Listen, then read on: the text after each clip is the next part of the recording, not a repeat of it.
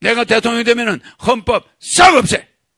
헌법 국민들한테 공약 TV 토론 할 때 나는 대통령 헌법 없앤다.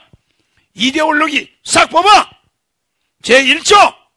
대한민국 국민은 누구나 150만 원 18세부터 죽을 때까지 150만 원의 생활비를 받는 대한민국 주식에서 대한민국의 주주로서 중산층 이상의 생활을 보장한다!